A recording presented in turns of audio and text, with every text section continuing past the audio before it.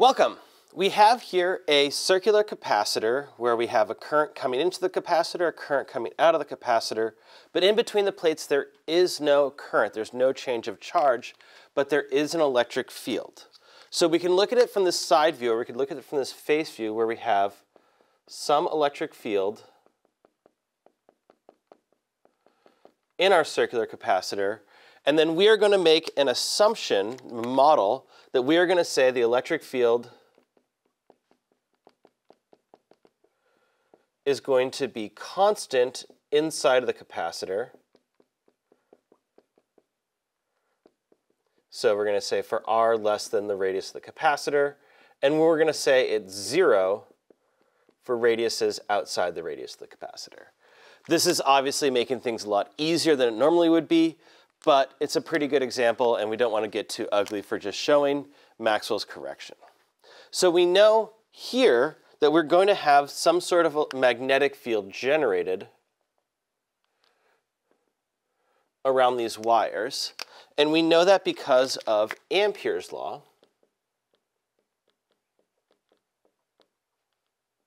So Ampere's law says that the path integral of B dot ds is equal to mu naught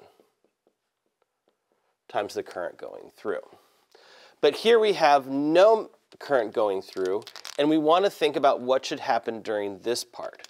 So then we also add to this the Maxwell correction, where we say we have a second term of mu naught times epsilon naught times the derivative with respect to time of the integral of E dot dA. So this is going to be similar to that magnetic flux, but now it's in an electric flux. Right? With induction, we had that a right changing magnetic flux induced a electric field. Now we're saying a changing electric flux induces a magnetic field. So we've already done normal Ampere's law plenty of times. Let's do it for here. So we know that our Ampere's law should have the form of some magnetic fields going tangent. So we are going to build two loops, one with the radius larger than the circumference or the radius of the capacitor, and one with the radius smaller. So in this case then, current through is zero. So let's look at the integral b dot ds case. If we think that our magnetic field is going to be tangent, that is, we believe our magnetic field is going to look like this, then this b dot ds is always going to be parallel to b, and since we have a circle, it will just be b in the tangential direction times 2 pi r. For our mu naught epsilon naught dt, d dt of integral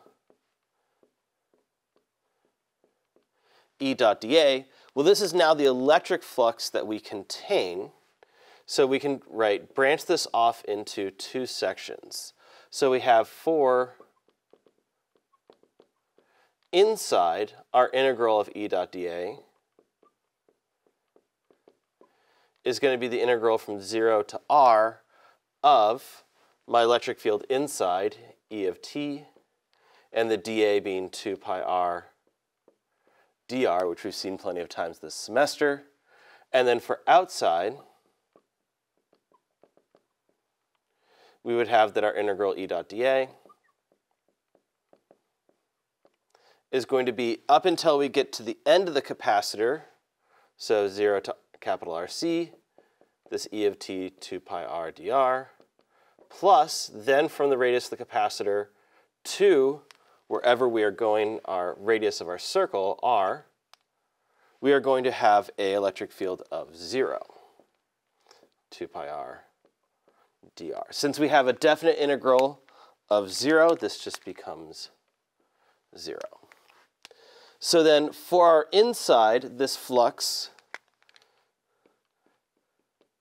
becomes E of t times pi r squared. For outside our flux becomes E of t times pi radius of the capacitor squared.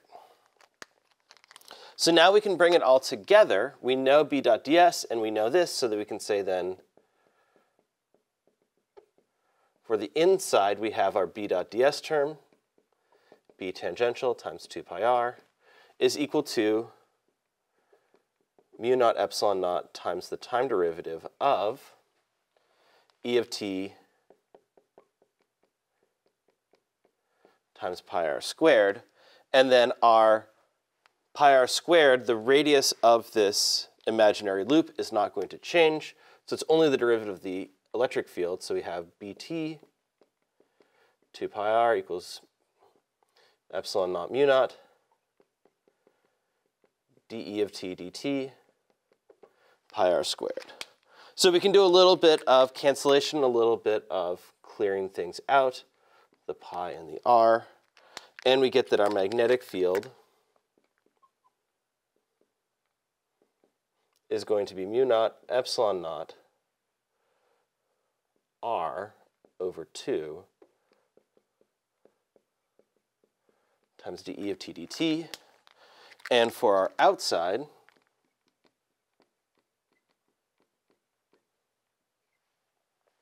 well, we still have b of t times 2 pi r. And now we just have this, instead of this little r squared for a variable r, we now have the capital R squared for a constant r.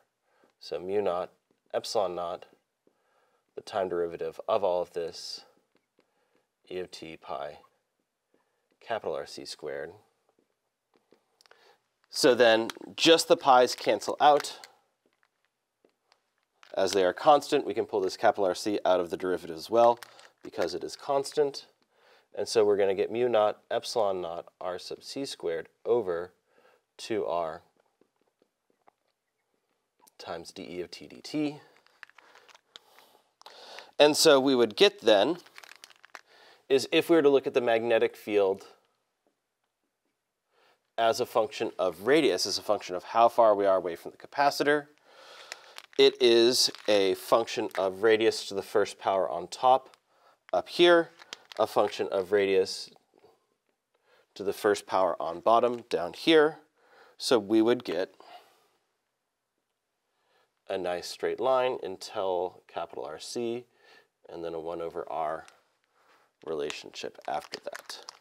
Well, we expect this if this was a constant current density to get something very similar uh, with this. So we have here a way to use the Ampere's law Maxwell correction to find a changing magnetic field if we are given a changing electric field.